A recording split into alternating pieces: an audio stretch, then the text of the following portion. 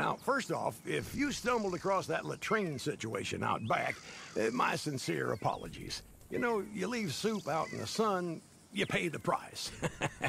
Talking of which, I found us a buyer. Now, it'll be a long ride, but they're offering good money. So just keep your eyes out for bandits.